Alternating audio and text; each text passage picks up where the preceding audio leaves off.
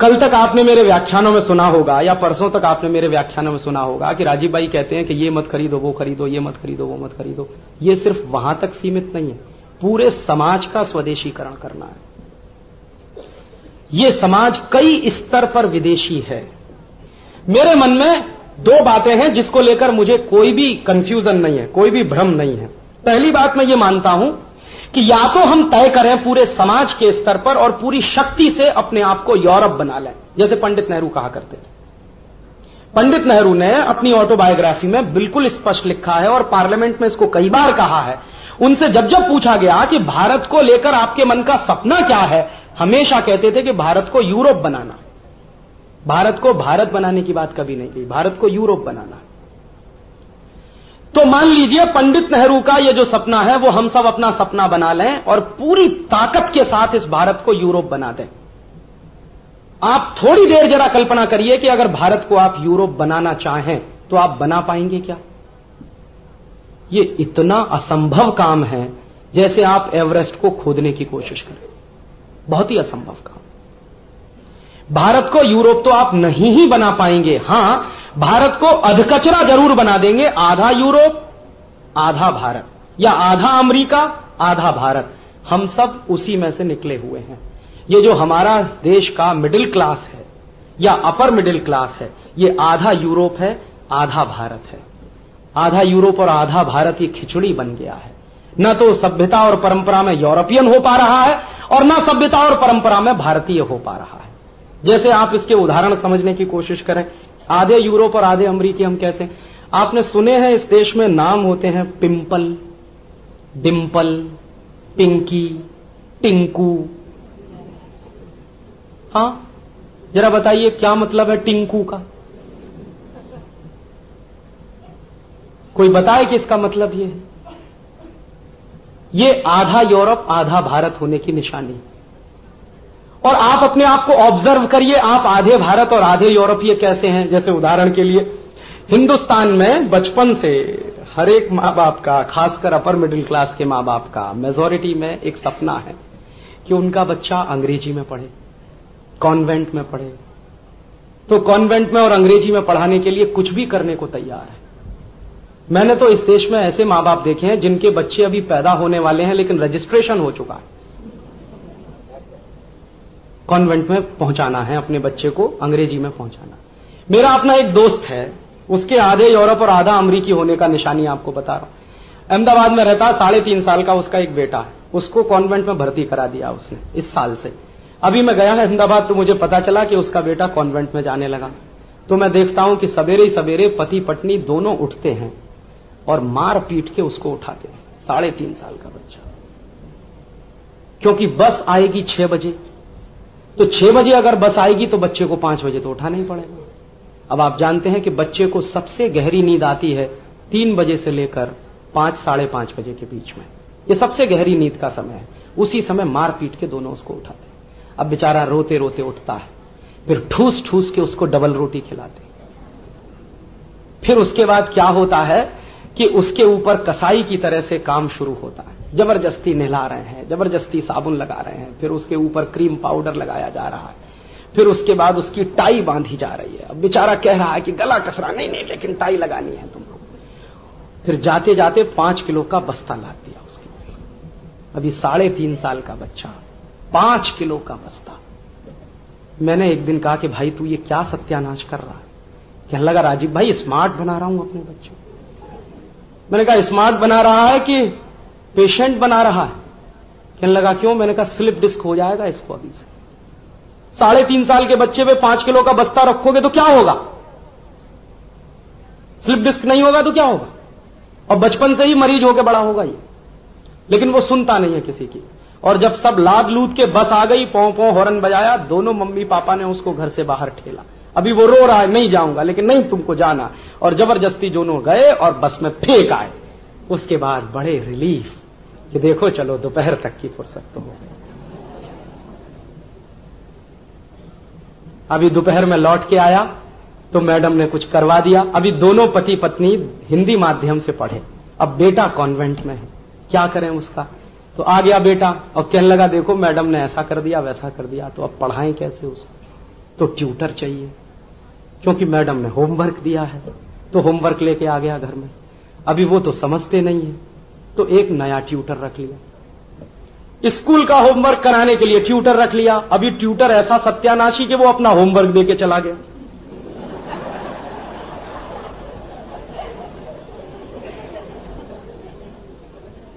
बेचारा आया मुश्किल से हाँपता हाँपता। कुछ होमवर्क नहीं हुआ तो अभी ट्यूटर आ गया, ट्यूटर उसको होमवर्क करा के तो गया, लेकिन अपना और दे के चला गया। अभी वो फिर कान खा रहा है उसका। कि अभी बताओ, सर जी कल आने वाले हैं, ये करने वाले हैं, वो करने वाले उसकी ज़िंदगी नरक हो गई। एक दिन मैं जब गया, मैंने कहा, भाई, तू ये क्या अत्याचार कर रहा? कहने लगा, स्मार्ट बना रहा हूँ। मैंने कि स्मार्टनेस की निशानी क्या है? तो क्या कहा उसने सबसे पहले कि, देख राजीव, अभी कितना अच्छा लगता है ये। मैंने कहा, क्यों? पहले नहीं लगता था, अभी देखो, टाई लगाता तो टाई लगाना माने स्मार्टनेस की निशानी। तो मैंने उससे पूछा कि, तुझको मालूम है टाई क्यों लगाते? कि देख, वहाँ अमेरिका में लगाते हैं कि नहीं लगाते? यूरोप में हाँ हाँ मैंने कहा, मैं यही पूछ रहा हूँ कि अमेरिका में टाई क्यों लगाते हैं? यूरोप में टाई क्यों लगाते हैं? ज़रूरत क्या है उनको टाई लगाने की? तो वो नहीं मालूम उसको। लेकिन अपने बच्चे को ज़बरदस्ती टाई लगवानी है उसको। मैंने उसको बताया कि देख, वहाँ टाई इसलिए लगाते हैं कि वहाँ ठंडी बहुत पड़ती है, सर्दी बहुत पड़ती है। साल में छह महीने सूरज नहीं निकलता है। और जब साल में छह महीने सूरज नहीं निकलता है तो उनको सर्दी ज़्यादा लगती है और ज़्यादा सर्दी जिन देशों में पड़ती है, वहाँ सर्दी जुकाम बहुत होता है। और सर्दी जुकाम होता है तो नाक चलती रहती है। तो उन विचारों का संकट क्या है कि बार बार जेब से रूमाल निकालना, पूछना, फिर रखना, निकालना, पूछना, फिर रखना। अब भारतीय सभ्यता और यूरोप की सभ्यता में फ़र्क समझ लीजिए। हमारी अगर नाक चल रही है तो हम उसको निकाल के फेंकेंगे, वो क्या करेंगे? पोछ के जेब में रखेंगे। अब बार बार निकाल रहे हैं, रख रहे हैं, निकाल रहे हैं, रख रहे हैं तो फिर उनको लगा कि ये तो बड़ा मुश्किल काम है तो क्यों नहीं एक गले में लटका लिया जाए कोई कपड़ा?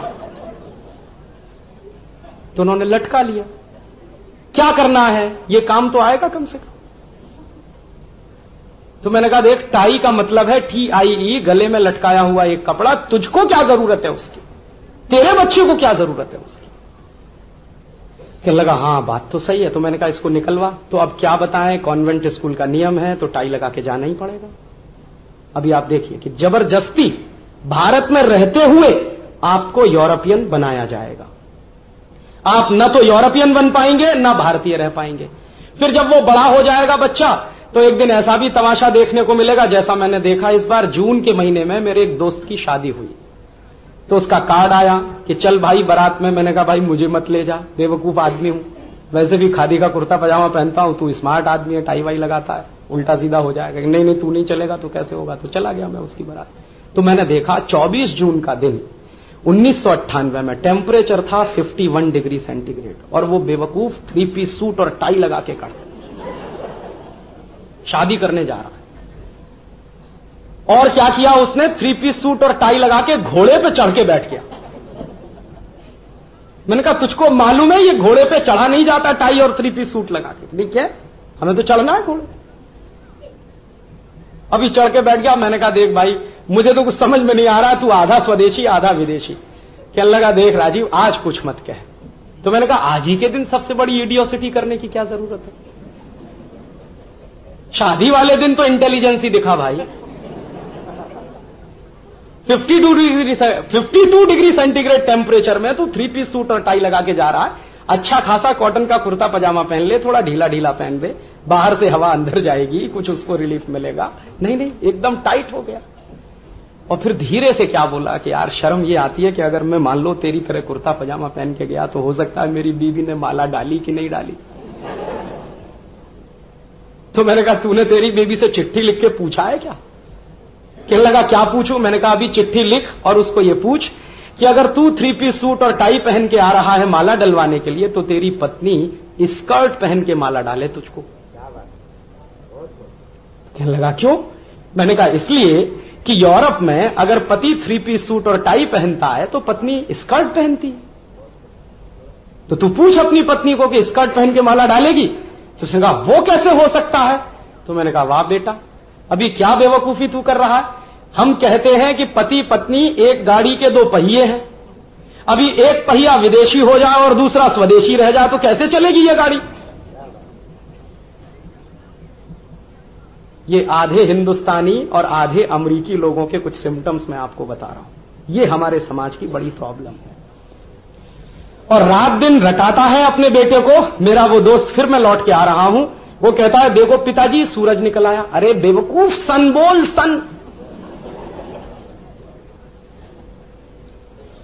अभी आलू है, बटाटा। अरे नहीं, पटेटो बोल, पटेटो। टमाटर कह रहा, नहीं नहीं, टमेटो बोल, टमेटो। अब वो बेचारा अच्छा खासा, अपनी मातृभाषा में कुछ सीखने की कोशिश कर रहा है। ज़बरदस्ती लाद रहे हैं उसके ऊपर। और उसका तर्क क्या है?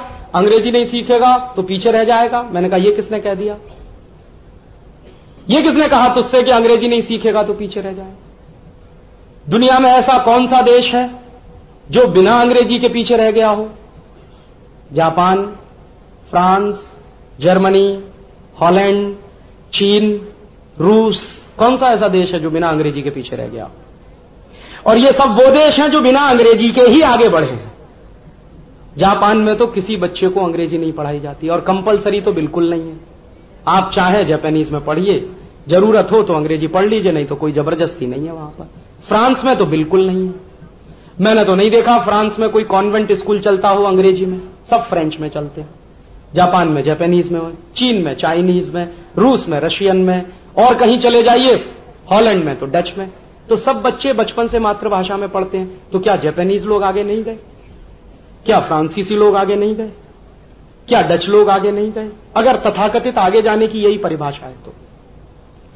और मैंने तो देखा एक दिन यहाँ पे, अभी मारुति सुजुकी का झगड़ा चला भारत सरकार का।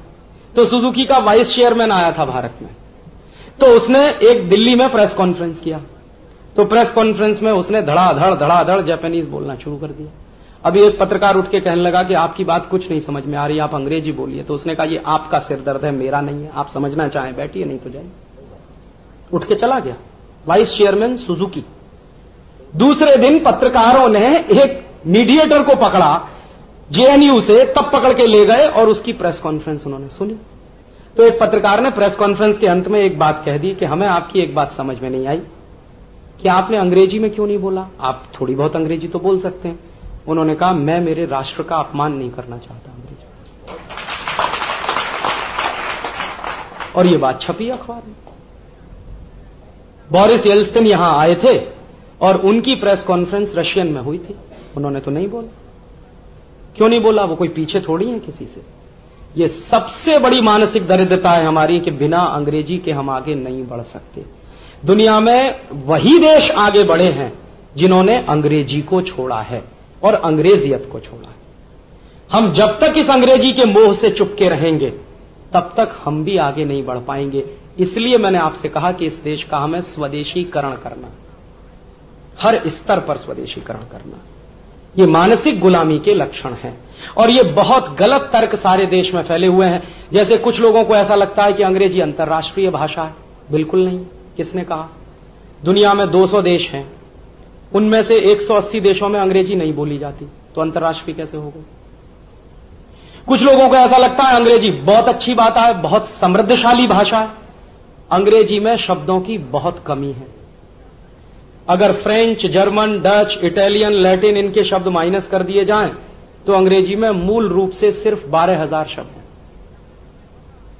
और भारत की सबसे छोटी भाषा है मलयालम, उसमें अट्ठारह हज़ार शब्द हैं। मलयालम अंग्रेज़ी से छह हज़ार ज़्यादा शब्द रखती है। मराठी भाषा में इस समय करीब अड़तालीस हज़ार शब्द हैं। बहुत सारे तो चलन के बाहर हो गए हैं, कुल मिला के अड़तालीस। अंग्रेज़ी से चार गुनी बड़ी है। गुजराती में लगभग चालीस हज़ार शब्द हिंदी में लगभग बहत्तर हज़ार शब्द संस्कृत में एक लाख पचास हज़ार शब्द संस्कृत दुनिया की सारी भाषाओं की माता जी बिना संस्कृत के दुनिया में कोई भाषा नहीं विकसित हुई है। उदाहरण आपको दूँ। अंग्रेज़ी में एक शब्द है काऊ। कहाँ से आया? गऊ से आया। संस्कृत में शब्द है गऊ। उसका बना है काऊ। अंग्रेज़ी में एक शब्द है गुरुकुलम सॉरी क्यूरिकुलम। गुरुकुलम से आया। गुरुकुलम माने गुरुकुल में पढ़ाया जाने वाला शास्त्र या पाठ्यक्रम। तो अक्सर गा का का हुआ है तो गऊ का काऊ हो गया, गुरुकुलम का क्यूरिकुलम हो गया। रशिया कहाँ से आया? ऋषि से आया। रशिया नाम का शब्द ही ऋषि से निकला। और अगर आप लिस्ट बनाते जाएँ और मैं बोलता चला जाऊँ तो तीन एक घंटे इसी में लग जाएँगे। और आजकल मैं बहुत एक इंटरेस्टिंग ये काम कर रहा हूँ। कुछ कुछ कंपैरिजन कर रहा हूँ दूसरी भाषाओं का अपनी संस्कृत के साथ। और समझ में आ रहा है कि हर भाषा संस्कृत से निकली है। तो हम क्यों परेशान हैं दूसरी भाषाओं के पीछे? हम क्यों नहीं हमारी मातृभाषा संस्कृत को सीखें? और अभी दुनिया भर के वैज्ञानिकों ने यह भी सिद्ध कर दिया है कि जितना ज्ञान संस्कृत में पड़ा हुआ है, शायद किसी भाषा में नहीं। अभी तो कोशिश चल रही है, कुछ दिन के बाद संस्कृत का सॉफ्टवेयर बनने जा रहा है और कंप्यूटर भी काम करेंगे। और जो वैज्ञानिक इस मिशन में काम कर रहे हैं, जर्मनी के, उनका यह कहना है कि यह अंग्रेज़ी से ज़्यादा अच्छा होगा, ज़्यादा वैज्ञानिक है। इतने सारे शास्त्र हमारे देश के संस्कृत में पड़े हुए हैं, जिनका ज्ञान हमको नहीं है, क्योंकि भाषा नहीं आती है। और संस्कृत से ही मिलती जुलती एक भाषा रही है, प्राकृत। हिंदुस्तान के धर्मशास्त्रों का एक बहुत बड़ा हिस्सा प्राकृत में लिखा हुआ है। आप पढ़ने की कोशिश करें, पढ़ नहीं पाएँगे, क्योंकि हमने जाना नहीं प्राकृत क्या है, संस्कृत क्या है। अंग्रेज़ी पढ़ाने के लिए इतने परेशान क्यों हैं आप अपने बच्चों को? संस्कृत क्यों नहीं पढ़ाते? या प्राकृत क्यों नहीं पढ़ाते? क्योंकि आने वाले समय में अंग्रेज़ी का सूरज डूबेगा। और जो भी कंप्यूटर अंग्रेज़ी भाषा में काम करेंगे, वो भी डूब जाएँगे। शून्य का चक्कर है। 2000 के बाद तो मुश्किल हो जाएगी। तो अगर ये डूबेगी तो वो सब डूबेंगे जिन्होंने अंग्रेज़ी सीख रखी है। तो आप क्यों परेशान है? ये तो डूबने ही वाली भाषा है। ये तो चलने वाली नहीं है लंबे समय तक। तो स्वदेशीकरण करिए। अपना, अपने बच्चों का, अपने परिवार का, अपनी सभ्यता का। और यह स्वदेशीकरण नवीनीकरण है। हमेशा सभ्यताओं के नवीनीकरण हुआ करते हैं। संस्कृति अक्षुण होती है, सनातन होती है। संस्कृति में कभी भी नवीनीकरण होने की गुंजाइश नहीं होती, लेकिन सभ्यताओं में तो हमेशा नवीनीकरण की गुंजाइश होती है। और यह भाषा का जो संस्कार होता है, वो सभ्यता से जुड़ता है। भाषा खुद संस्कृति से जुड़ती है। तो हमें हमारी सभ्यता का नवीनीकरण भी करना है। और यह स्वदेशी का सबसे मूल काम है। अगर कोई मुझसे यह पूछे कि राजीव भाई, आप एक लाइन में बताइए कि आप स्वदेशी क्यों कर रहे हैं, मैं कहूँगा, मैं मेरी सभ्यता का नवीनीकरण करना चाहता हूँ और स्वदेशी उसका एक रास्ता। हर इस स्तर पे हमको स्वदेशी बनाना है।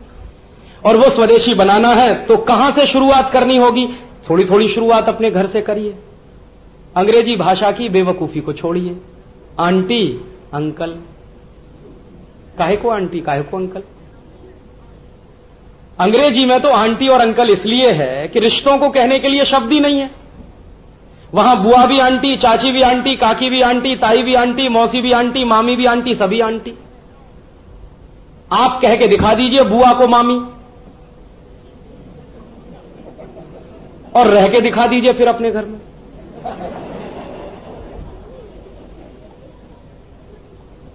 आप कह के दिखा दीजिए मौसी को काकी, फिर रह के दिखा दीजिए इस पर। अंग्रेज़ कह सकते हैं, क्योंकि रिश्तों की गर्माहट क्या होती है, ये उनको अंदाज नहीं है। इसलिए आंटी है। काका भी अंकल, ताऊ भी अंकल, मौसा भी अंकल, फूफा भी अंकल, मामा भी अंकल, मामा के मामा भी अंकल, सभी अंकल। यहाँ तो संभव नहीं है। काका मौसा नहीं हो सकते, मौसा मामा नहीं हो सकते। हरेक का अपना एक निश्चित रिश्ता है। तो काहे को सिखा रहे हैं अपने बच्चों को कि बोल, अंकल आए हैं काय को आए अंकल? काका आए हैं। या कुछ आए हैं, अंकल क्यों आए हैं, आंटी क्यों आए हैं? तो छोड़िए ये अंकल और आंटी। और अंकल और आंटी आप छोड़िए, अपने बच्चों से छोड़वाइए। और मैंने जैसे आपसे कहा कि ये पिंकल डिम्पल टिंकू, ये और वो, ये नाम रखना छोड़िए। फालतू के नाम इतने अच्छे अच्छे नाम भारतीय संस्कृति में। राम है, कृष्ण है, शिव है, राम गोविंद है, एक साथ दो दो भगवान। राम और गोविंद दोनों एक साथ मिल जाए। ये कौन सी संस्कृति में संभव है? ये यहाँ संभव है। तो कहे को परेशान है? बेवकूफ़ी के नाम। और ऐसे नाम जिनका कोई अर्थ नहीं है, ये रखना बंद करिए। और अपने घरों के भी रखना बंद करिए इस तरह से। तो माने स्वदेशी होना शुरू करिए। ये स्वदेशी होना माने सभ्यता के नवीनीकरण का काम है। तो आप स्वदेशी होना शुरू करिए। और ये स्वदेशी होना अपने परिवार से, अपने समाज से, अपनी सभ्यता से सबसे आसानी से हो सकता है। तो आप होइए। अपने बच्चों को कॉन्वेंट में भेजना भी बंद करिए।